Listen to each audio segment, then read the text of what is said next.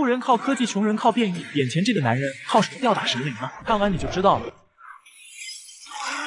绿巨人真名叫布鲁斯·班纳，他正在进行一场人体实验。然而实验出了意外，班纳被伽马射线污染，一个名为浩克的绿色怪物诞生了。变身后的班纳破坏力极强且不受控制。为了不再伤害自己的女友，班纳游走于世界各地，寻找控制愤怒的方法。这次他隐藏在巴西的一个小工厂里，但是一个不小心划伤了手指，一滴血掉落。虽然班纳及时抹除了血液，但是还是有一滴进入了生产线。就是这滴血液，让他再次进入了美国军方的视野。罗斯将军立刻派出了王牌特种部队实施抓捕。警觉的班纳仓皇逃走，赶来的。特种兵们扑了个空，只留下了班纳的一只狗。熟悉好莱坞大片的人都知道，主角的狗是能杀的吗？很快，特种兵们就要为自己的行动付出代价了。另一边逃走的班纳却不小心惹到几个小混混，他们抓着班纳一顿胖揍，浑然不知自己惹到什么样的怪物。随着班纳两眼绿光一闪，暴怒的绿巨人再次出现，光头哥被一脚踹飞到墙上，剩下俩人只恨爹妈少生了两条腿。特种部队赶到，麻醉弹甚至无法刺破浩克的皮肤，赶紧换上真弹的士兵们疯狂扫射，也无济于事。浩克的防御力甚至连手榴弹都无法。造成任何伤害，士兵们被浩克砸得鸡飞狗跳，似乎还留有班纳的一丝神智。浩克强忍着怒火走入了黑暗，面对着士兵的质疑，将军无奈说出了真相：当初他的女儿，也就是班纳的女友贝蒂，奉命研究抗辐射技术。实际上，他们不知道的是，军方不过是利用他们的研究数据制作超级战士血清。研究成果一旦成功，他们就能批量生产美队那样的超级战士。听到这个消息，布朗笑了，这正是他所渴求的力量。在布朗的要求下，将军给他注射了当初班纳实验室留下来的唯一一管血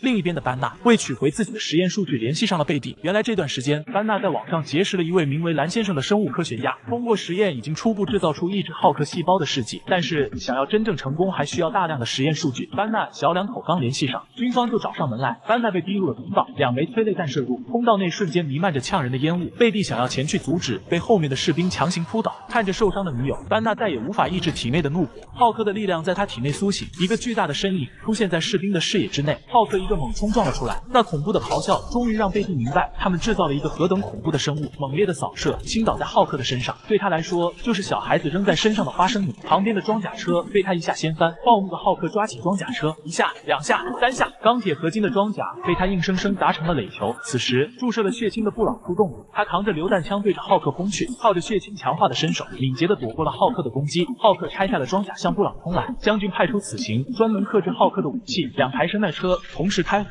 恐怖的声内压的浩克。痛苦不堪，他猛然扔出一个盾牌，砸毁一架声呐，接着一个跳跃解决剩下的一台。布朗脑抽的，还想上去挑衅，浩克一脚教他做人，场面即将彻底失控。贝蒂出来安抚了浩克，但是此时直升机已经开火，浩克为了保护贝蒂，选择硬抗伤害，然后转身将最后一块盾牌砸向了飞机，飞机坠落，巨大的火海将两人一同吞噬。悲痛的将军只能眼睁睁的看着浩克抱着昏迷的贝蒂离去。丹娜和贝蒂终于联系上了蓝先生，也就是纽约大学的山姆博士。博士的治疗方案简单粗暴，注射药剂治愈。细胞唯一的危险就是必须在变身的状态下才能生效。随着博士一个猛烈的电击，班纳的身体无法抑制的开始膨胀，他的皮肤也由白到绿。但是随着药剂的注入，班纳的身体竟然恢复了原样。试验成功后的班纳才得知，山姆博士竟然将他的血液稀释复制了一整个实验室，深知自己血液的恐怖性。正要毁灭这些血液时，军方的人马再次找上门来，为首的竟然是毫发无损的布朗。看来血清的力量赋予他的不仅仅是力量和速度，还有可怕的恢复力。已经失去变身能力的班纳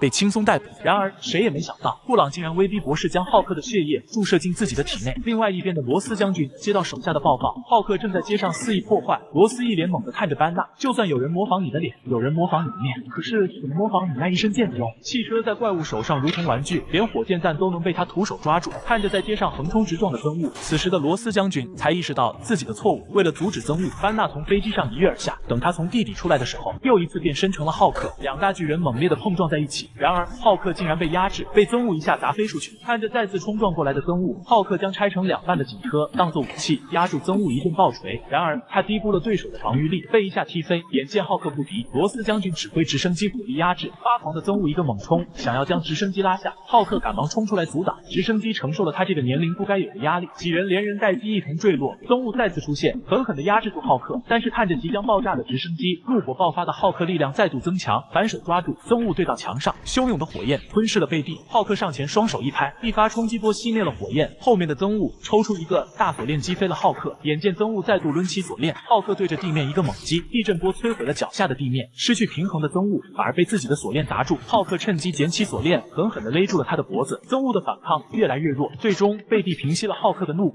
他始终不希望自己的男友沾染血腥。浩克的意志试剂还是失败了，最终他还是选择离开。影片结尾，一身光鲜的托尼·史塔克出现在罗斯将军面前，复仇者联盟正式开始登上舞台。